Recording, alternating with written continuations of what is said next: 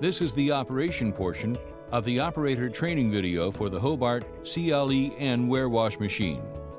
The operation of your CLEN is a simple process. Make sure that the dishwasher is clean and that all parts are in place.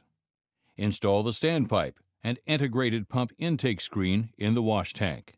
Install the slanted strainer pans and lower the deep collection bucket.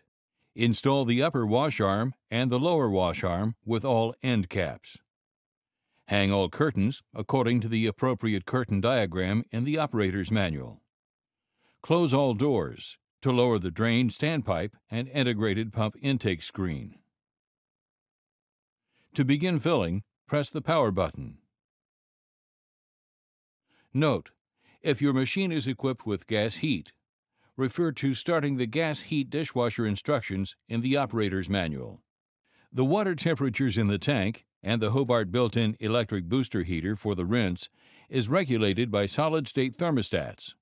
The control is preset at the factory, and no adjustment should be required. The digital display on your ware washer verifies proper water temperature during operation. After the machine has filled, start the pumps by pushing the Start key on the keypad or inserting a rack into the machine. The machine will operate only if the tanks have filled to the proper level and all doors are closed. Press the Stop key on the keypad if you wish to stop the conveyor, pumps, and final rinse. Pre-scrap dishes thoroughly to remove large food particles and debris. Note: Never use steel wool on ware that is to be loaded into the dishwasher. Load dishes into the racks. Do not stack dishes one on top of the other, as water must have free access to both sides of every dish. Stand plates and dishes up edgewise as shown. Cups, glasses, and bowls should be inverted in open type or compartment type racks.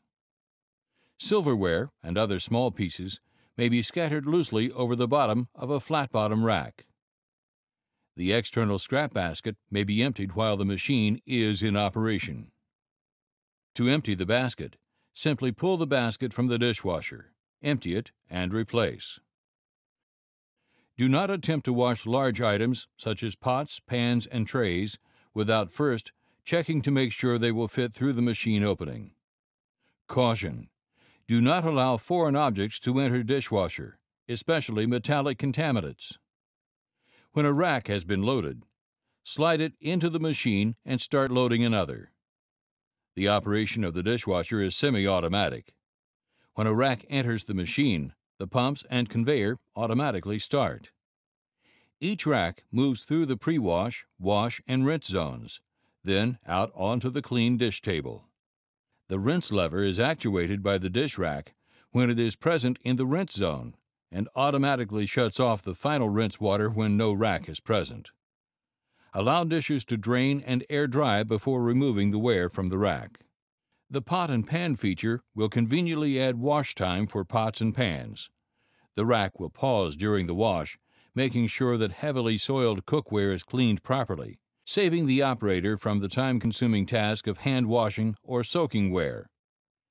An overload mechanism will shut off the conveyor drive motor if the racks jam or the load becomes excessive.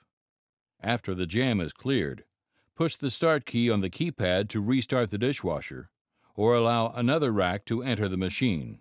All tank temperatures display on the control readout when the machine is in operation. When the ware reaches the rinse zone, the final rinse temperature will display. If the tank is accidentally drained before turning off the power switch, the float-controlled low water protector switch will automatically stop the tank heat. When the proper water level is returned, the tank heat will automatically restart. Caution! Do not use low water protection as a power on-off switch. Press the power key on the keypad to turn the machine off when not in use. Contact your local Hobart office for any adjustments or repairs needed on this equipment. This concludes operation of the Hobart CLEN.